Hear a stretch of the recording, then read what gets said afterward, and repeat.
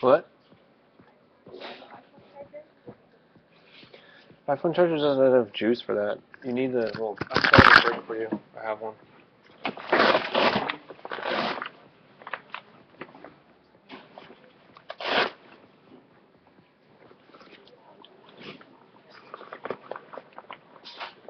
Alright, Joanna, you need one?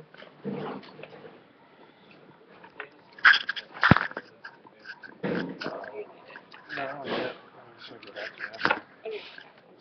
Because uh, the other ones don't put out enough juice because it needs 10 volts and that's fine. Plug it in.